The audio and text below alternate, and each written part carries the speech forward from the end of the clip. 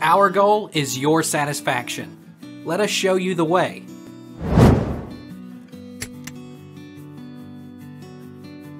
How can I view a muted WhatsApp status without the person knowing?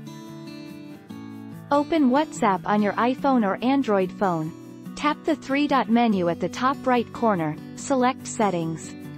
Click on Accounts and select Privacy. Here, disable the toggle for Read Receipts. Dual H. 19, 1442 Ah. How can I check WhatsApp without them knowing on iPhone? Step 1. Launch WhatsApp. Step 2. Locate settings from the bottom right side of the app. Step 3.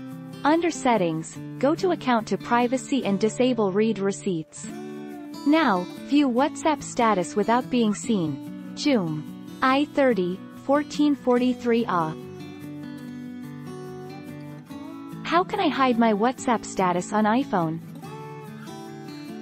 Also read, Apple event September 2019 live streaming.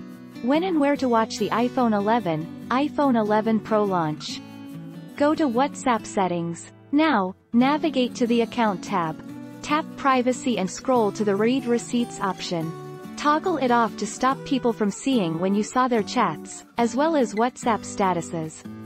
Mu. 11, 1441 Ah. How do you know if someone put you on mute?